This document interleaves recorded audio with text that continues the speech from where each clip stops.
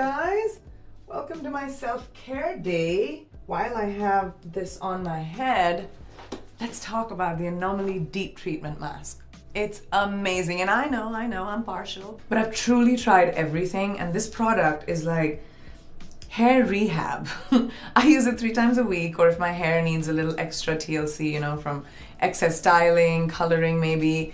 After I finish washing my hair, I apply the mask, let it sit for about four to 10 minutes, and then I rinse it off. It's packed with the most like hair loving ingredients and nutrients like castor oil, which is rich in omega 9 fatty acids, and vitamin E. It's also formulated with avocado, which helps prevent your strands from drying out. I'm all about self-care these days and this mask checks every box. You can find the deep treatment mask at Target or online at target.com.